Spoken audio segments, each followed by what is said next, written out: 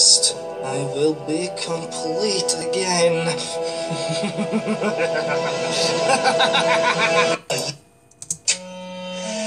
This is not what Mrs. Cramdilly had in mind.